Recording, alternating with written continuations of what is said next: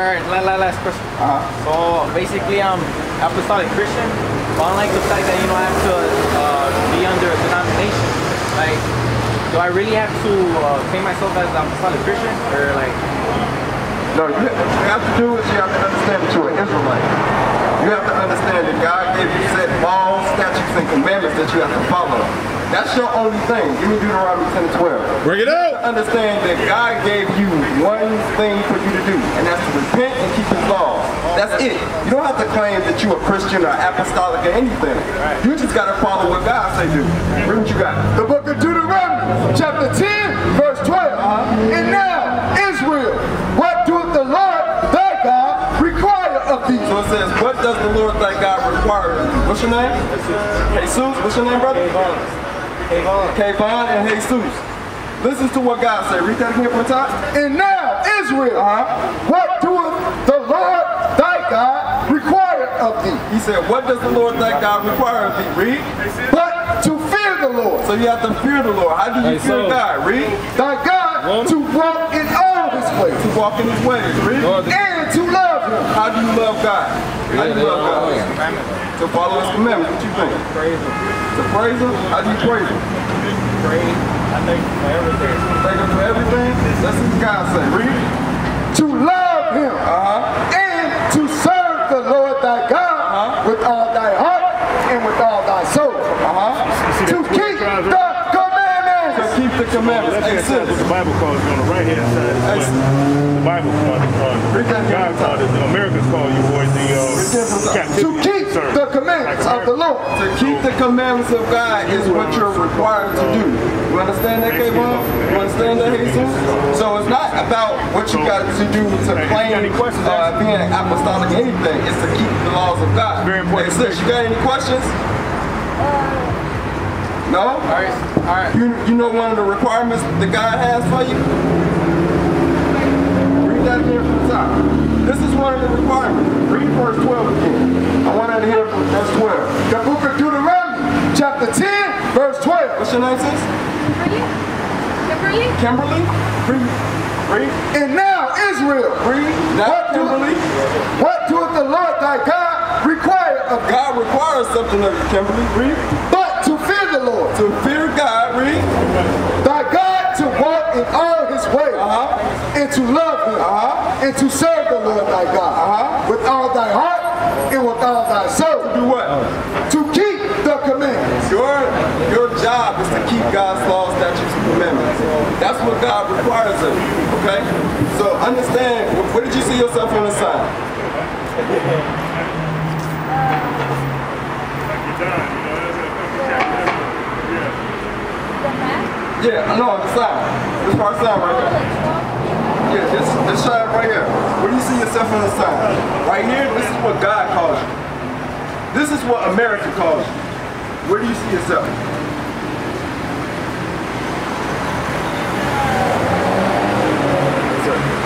Issachar? Mexican? Okay, so you from the tribe of Issachar. Okay? You had the land first. Okay? You had come over to claim this land as their own. Right? Give me that in Deuteronomy chapter 28, verse 49. You gotta understand your history is in the Bible. You just gotta pick up the Bible and actually understand it because it's all written plain as day. Read. The book of Deuteronomy, chapter 28, verse 48. 49. 49. The Lord shall bring a nation against thee from far, You hear that? He said the Lord shall bring a nation against thee from far. Read. from the end of the earth, as swift as the eagle flies. Because y'all was here first. It says as swift as the eagle flyer. Back then they represented the eagle. Same symbol that they represent right here in America. They represent what? The bald eagle. Back then, Spain, France, they all had the same thing. Britain, the eagle. Read. A nation whose tongue thou shalt not understand. It said the tongue that y'all will not understand. Why? Because when y'all was here, y'all wasn't speaking Spanish. Y'all was speaking Hebrew. Bring it out. They came over here with that language. They colonized y'all to that language. Read. A of fierce countenance, Uh-huh. which shall not regard the person of the old, It said, "Will not resolve the person of the old." nor show favor to the young. Meaning what? They didn't care how if you was old or if you was young. They slaughtered everybody. Bring they it didn't out. care. Right. This is a fierce nation there. Who who brought them over here? It said the Lord brought them over here. Why did the, why did God do that to his own people? Why do you think that? Say it again. To have freedom? No, because you're not free. You're not free right now. God brung them over here because we didn't remember. When you first came up, Lord, the God required you to do something, right? He required you to keep his commandments. We didn't keep God's commandments. Read verse 15. This is why they actually came over here. The book of Deuteronomy, chapter 28, verse 15. Uh-huh. But it shall come to pass, if thou wilt not hearken unto the voice of the Lord thy God, to observe to do all his commandments and his statutes, which I command thee this day, that all these curses shall come upon thee and overtake You thee. hear that, Kimberly? Yes. These are curses.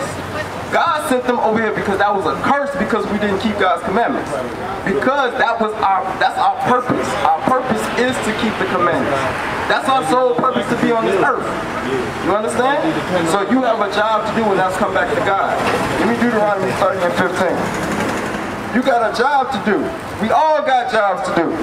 Everything we have to do is to keep the commandments. That's our only purpose. Read what you got. The book of Deuteronomy, chapter 30, verse 15. Uh-huh. See, I have set before thee this You day see what God said? Read. life and good, God is setting before us life and good. Read. and death and evil. And death and evil. That life and good is the commandments. God sent us the commandments. If you keep the commandments, you will live. Right. It's not gonna it's not gonna hurt you. It's not hard to do. Read that again from the top. I have set before thee this day Uh-huh. life and good, Uh-huh. and death and evil. Read. And that I command thee this day to love the Lord thy God. To love the Lord thy God, meaning to keep the commandments. Remember, you're hearing this over and over again. God is commanding us to keep the commandments. That's what God is calling us to do. That's how we love God. To keep the commandments. Read. To walk in his way, Uh-huh. and to keep his commandments and his statutes, Read. and his judgments, Read.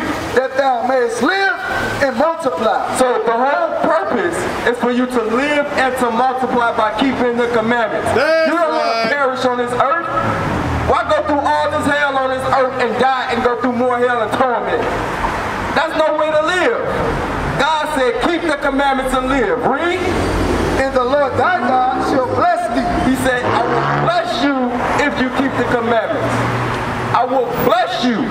Be multiplied on this earth. Read. in the land whither thou goest to possess it. Uh-huh. But if thine heart turn away, It says, but. Read that again. but if thine heart turn away, If you turn your ear from hearing God, read. so that thou would not hear, Uh-huh. but shalt be drawn away and worship other gods, Because you got other things you got to do, right? You don't want to hear God. You don't want to repent. You don't want to change your ways.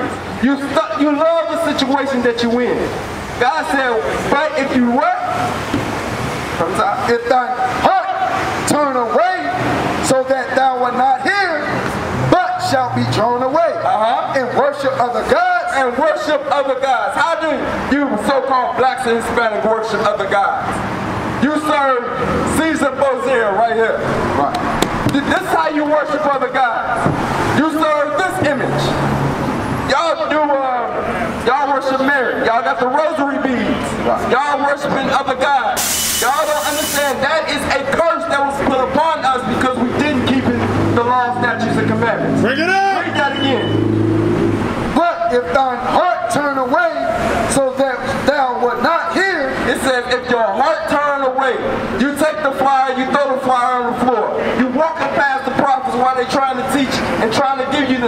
and the understanding to give you life. Read. But shalt be drawn away and worship other gods uh -huh. and serve them. Uh -huh. I denounce unto you this day. God said, I denounce. I, I'm done with you. He said, I'm going to put curses upon you. Read. That you shall surely perish. He said that you should surely what? Perish. Should surely what? Perish. I thought you wanted to live of. Right. I thought you was tired of the situations that you're going through. I thought you was tired of being shot down in the street. I thought you was tired of working long hours. It says, I, do- I would do what? Verse 18? I denounce unto you this day Uh-huh. that you shall surely It perish, says, if you don't listen, you will perish. Read. and that ye shall not prolong your days upon the land. Because you're going you gonna die. Read. Whether the whether thou passes over Jordan to go possess it. Read. I call heaven and earth, God says he called what? heaven and earth, Read.